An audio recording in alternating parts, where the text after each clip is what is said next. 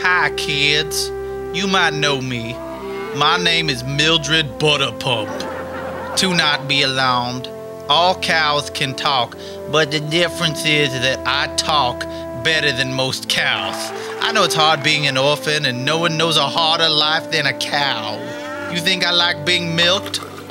You think I like laying around and eating grass all day? Well, well, I do. But it's hard. Nap time.